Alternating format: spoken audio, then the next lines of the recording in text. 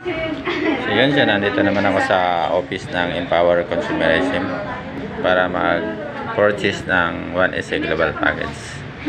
So ito yung office sa Santa Rosa. Ah, sa mga nagtatanong kung paano sumali sa ah, negosyo namin, message lang kayo sa akin, tuturuan ko kayo kung paano maka-join sa negosyo namin.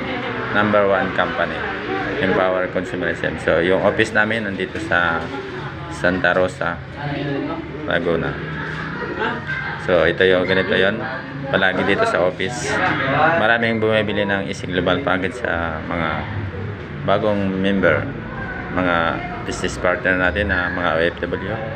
Thank you sa tuloy-tuloy na ah, pagtitiwala sa Empower Consumerism.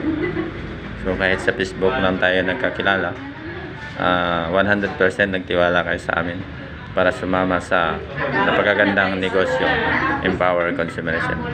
So God bless to all and welcome sa Empower Consumerism.